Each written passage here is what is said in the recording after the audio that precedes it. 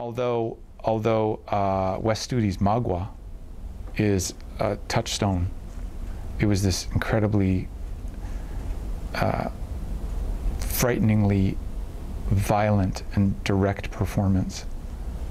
That uh, I mean, I have a Magua sticker on the back of my phone. It's it's so important to me, you know.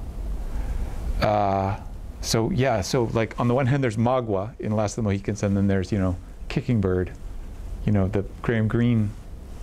It's like I'll take I'll take Magua any day. Uh, he's the one who said, uh, "I told the gray hair that after I I kill his um, after I kill his seed, his daughter, after I kill his seed, I will eat his heart." Like, that's what's on the back of my phone. it's like, so in those two films, there's like, oh, it's like one's the Beatles and one's the Rolling Stones. It's like, ah, I love the Stones. Right. Is that when you wanted to be an actor?